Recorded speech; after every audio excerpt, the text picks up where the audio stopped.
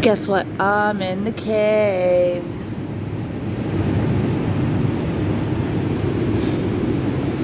That is so cool.